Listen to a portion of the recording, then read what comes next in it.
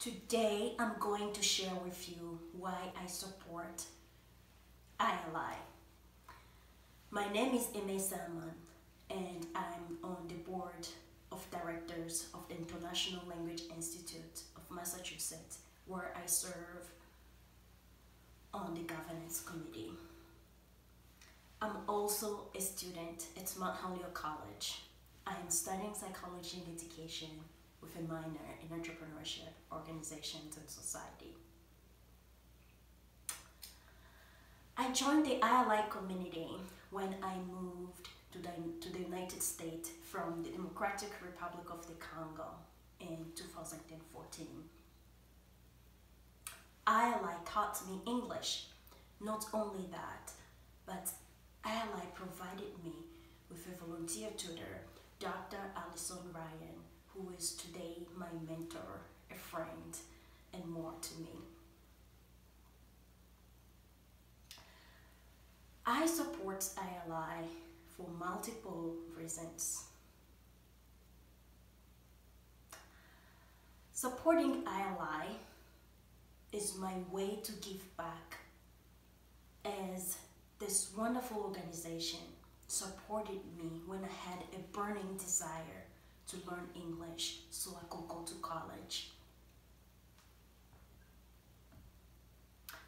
I also support ILI because of its values of diversity and inclusion, embracing different cultures. That's something I strongly believe in.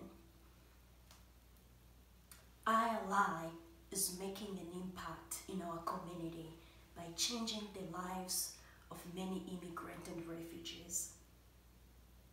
As an English learner, an immigrant myself, and a former ILI student, I understand how challenging it is to move to a new place and learn a new language, start from scratch.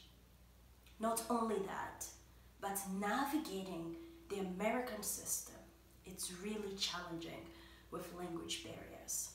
But ILI is helping the student to overcome those barriers by teaching them English. That helps them get a job, become US citizen, get driver's license, and do different tasks that we usually take for granted, like talking to your doctor without the need of a translator.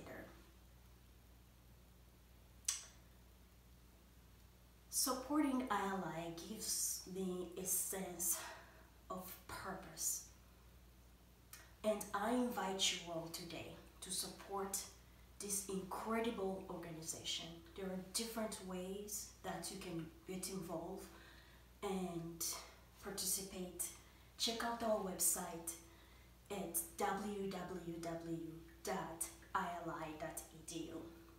Join the movement and be part of the change. Thank you.